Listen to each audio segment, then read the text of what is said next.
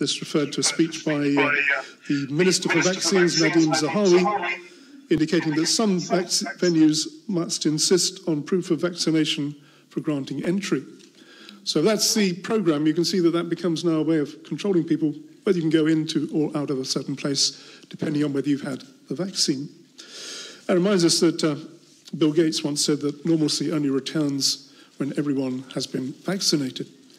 So it comes a kind of a push towards a control system of people.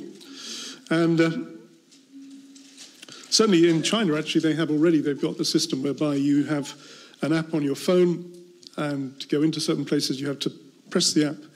It'll show whether you have red, green, or, or yellow. And if you have yellow or red, you can't go in. If you have green, you can go in. And if you have green, it shows that you are COVID free and you are kosher, if you like, to go into the place. So it's like kind of a control system coming in.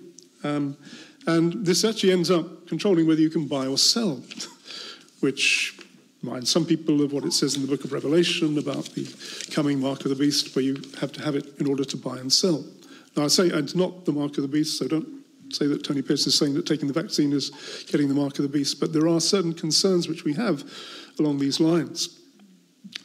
Actually, I'm not going to give a ruling on whether you should take the vaccine or not. You've got to seek the Lord about that. Uh, I think that there are concerns.